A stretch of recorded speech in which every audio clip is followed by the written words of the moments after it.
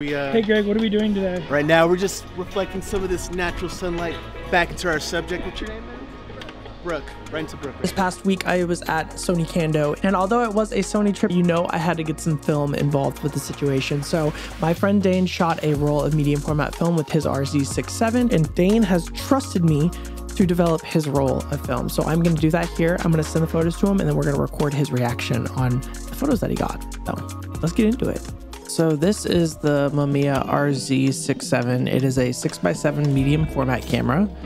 So it takes a 6x7 film negative on medium format film, and Dane loves this thing. It is a powerhouse of a film camera. I mean, the image that you can get out of a medium format camera like this is pretty close to what you would get out of a digital camera even nowadays. Sometimes it even looks sharper. This is Brooke. She was the model for the day and she was really, really easy to work with. So Dane's idea was let me just shoot one roll of film and give it back to you see what you can do with it, develop it, scan it, send it back to me, and then I will go through the images. So here's Dane taking a few photos. Greg is in the background right there using a massive bounce light to kind of give the model a little bit more light on her face. We're using a golden bounce light, which is something that I've never actually done before. It gives a really nice golden glow as opposed to just like a normal white or boring light. So tried to get that involved in the photo shoot as well. That gold light is so bright that Brooke had to like close her eyes and Dana had to give her a countdown in order to be like three, two, one. All right, take the photo. And you can hear that shutter on the Mamiya's RZ67. It's almost like a macro. Could a Pentax, you can't do that. So you can get like really. Basically, what Dane's saying there is that you can get super close, and the focus distance on these cameras is is kind of what they're known for. Honestly, you can have a really, really, really close focal length, almost like a macro lens, but not a macro lens. So that's something special that you only really get with these old school film cameras. But look at Dane right here; he looks gorgeous. Maybe Dane should be the model. So yeah, again, just taking photos, doing the thing. I'm gonna let you guys sit back, relax, and enjoy this photo shoot. I'm, I'm like crazy. It's harsh. Gnarly? Look at the shadows on Yeah, her it's a bit. It's a bit.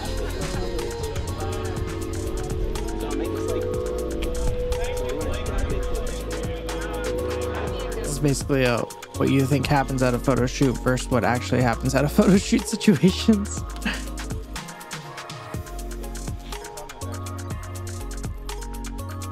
but it was really cool to see Dane work with a model, see what his ideas were, how he interacted with models, um, went back and forth. Because to be honest, I'm not usually in a studio session or in a portraiture session. I'm usually on the go, running gun, landscape photography, concert photography, things like that. So if you guys want to see the photos, be sure to stick around to the end of the video to see them. How do you feel? Hot? How do I look? You look great. I was expecting you to say hot. Again, this is just Dane giving direction to the model. I think that's really important when you're working with a model to kind of at least give them idea of what you're looking for and then collaborate with them to make some really cool stuff. Ooh. I got two more shots. One, two, three, open. What do you think? What'd you say? Should I do a close up or a wide one? Do a wide. You've you had a few close-ups. Shout out Brooke for being such an incredible model and dealing with so many different photographers over the week at Kando. Go follow her on Instagram. I'll link her page down below. And let's go over to the developing room and get this roll of film developed.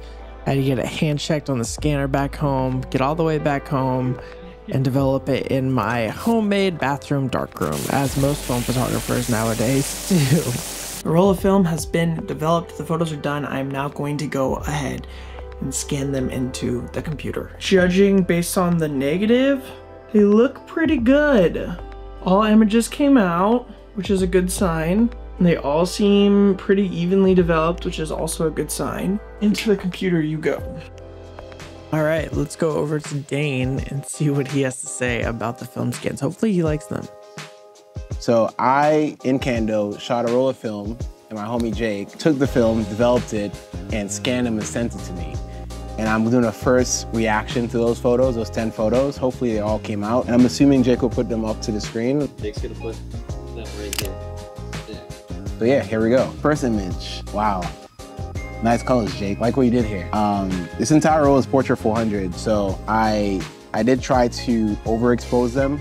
So I had Jake push them one stop. Second image, I could tell my metering was way better on this image. Third, wow, the beautiful model Brooke. She was so good. All the photos so far, I'm on the, on the fourth image. They're all tack sharp, well lit, no issues with the scans. The colors are beautiful. All these gorgeous Portra colors. These scanned excellent they were they're all beautiful. Most labs don't scan my film right, but Jake did an excellent, excellent, excellent job. I don't really trust much people with the film process just because how painful it is. You often get either wrong colors or they they don't process it right. So even when you have to scan, you get your film back with scratches and issues. I haven't seen the film, but from these film scans, they all look beautiful, and the turnaround was pretty fast as well. So Jake, you might have a new job. You can do all my film for me from here on out.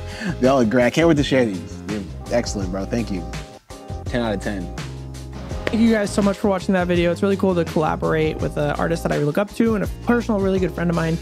Uh, Dane, his work is incredible. Go check out his website. His socials are linked down below. Uh, and thank you guys for watching. Don't forget to like, comment, subscribe, and I will see you guys in the next video. Bye.